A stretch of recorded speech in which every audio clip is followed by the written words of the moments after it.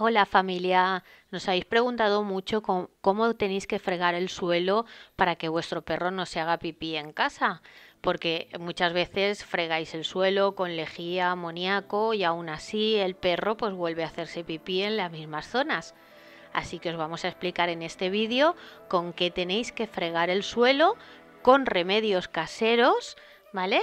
Y cómo hacerlo para que vuestro perro no vuelva a hacerse pipí. Seguro que a todos nos ha pasado que tenemos pues el perrito y nos encontramos con el clásico pipí cuando no estamos en casa o cuando son cachorritos que nos encontramos con que se han hecho pipí y no podemos reñirlos porque no lo han hecho delante de nosotros o en el momento y tenemos que buscar pues un repelente para evitar que esto ocurra.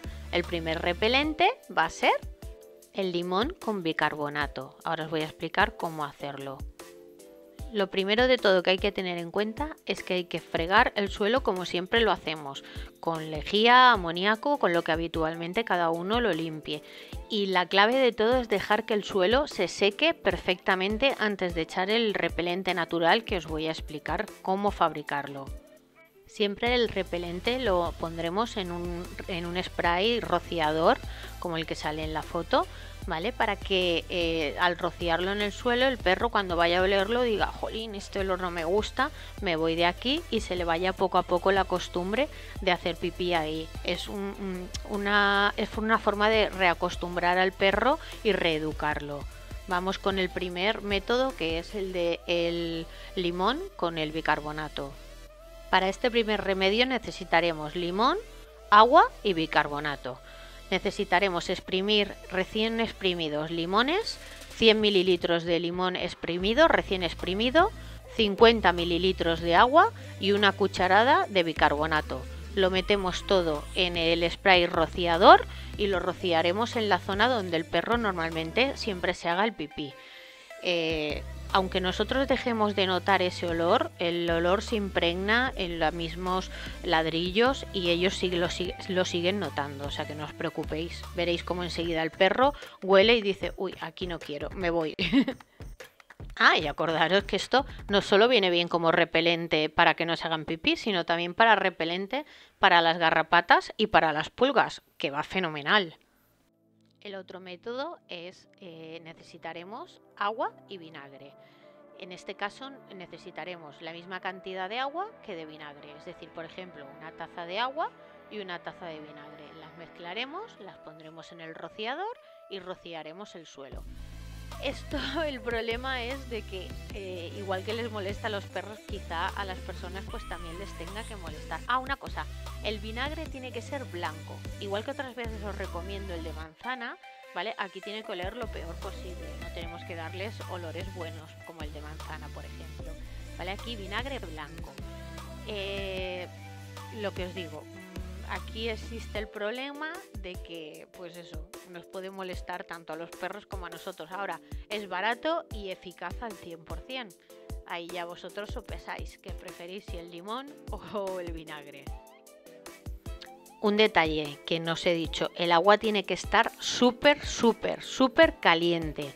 Cuanto más caliente, más tiempo será el efecto duradero del repelente, ¿vale? Porque más tiempo emanarán los, los olores de, eh, eh, influye con el olor del vinagre y hace que dure más tiempo el olor del repelente, ¿vale? O sea que cuanto más caliente el agua, mejor. Otra de las fórmulas es simplemente echar alcohol, alcohol antiséptico, del que normalmente eh, utilizamos para curar las heridas. Si vosotros, por ejemplo, oléis el alcohol, Mm, eh, os dará un, uff, me molesta la nariz, pues imaginaros con, el olfato que tiene un perro lo que les puede molestar el alcohol. Es simplemente rociáis en cantidad eh, la zona donde esté haciendo pipí con alcohol. Es así de simple. Es otra de las formas que van, son muy muy efectivas. Lo mismo pasa con el agua oxigenada. El agua oxigenada es uno de los repelentes que, más odian. De hecho, los veterinarios lo utilizan mucho también para, bueno, y la gente que, sabemos utilizarlo, se utiliza para hacer vomitar a los perros, por ejemplo, que se han comido algún medicamento o han sido envenenados. Por eso digo, el, odian el agua oxigenada. Pero ya os digo que estos métodos ya son un poquito más no sé, mm, yo soy más partidaria del limón, el vinagre o echar el alcohol directamente. El agua oxigenada a mí es que personalmente me molesta mucho también. si os decidís por el método del agua oxigenada, a la botellita de agua oxigenada le añadís pues unos 10 o 20 mililitros de agua, a, todo al pulverizador y ya pues lo pulverizáis en el suelo, sofás, cortinas, eh, donde el perro pues suele hacerse el pipí. El alcohol no, ¿vale? El alcohol es eh, directamente a donde, donde lo esté haciendo, sin diluir. Hay otro método que es eh, la pimienta de cayena, que la nombro simplemente porque lo sepáis, porque está ahí. Eh, es eficaz, evidentemente, pero mm, lo veo excesivamente fuerte para, este método. Normalmente la, la, cayena se utiliza cuando los perros pues mm, eh, destroza muebles, eh, se comen sofás y todo esto. Tú le rocías con agua y cayena la zona donde el sofá lo esté mordiendo o las patas de las sillas y cosas así y realmente el perro deja de morderlo automáticamente siempre y cuando no sea una modificación de conducta, ¿vale? Que aquí entramos ya en otros términos. Aquí estamos hablando de cuando es un cachorro, lo típico que muerden porque les duelen los dientecitos, etc., ¿vale? No, no mezclemos eh, modificaciones de conducta o que perros que tengan conductas destructivas, ¿vale? Para eso no sirve. Eh, por eso no sabía si, nombrar esto o no nombrarlo, pero bueno, había que, había que decirlo. ¿Vale? De todas maneras, si, para, si alguien quiere utilizarlo, simplemente es poner un poquito de pimienta de cayena y mezclarlo con agua en el rociador y, ya está, en la zona donde el perrito pues esté haciéndose eh, pipí y ya está. Pero no os lo aconsejo, ¿vale?